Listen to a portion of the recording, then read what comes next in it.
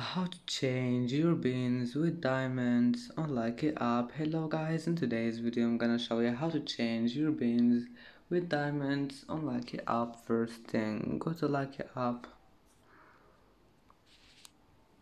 And here you will find these three lines in the top. Click on it. And then just click uh, this one. Uh, here you will find your wallet. Click on it and click beans. And then just wait. And as you see here you can find your beans.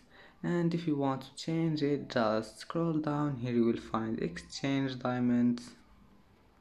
And that's it for today's video.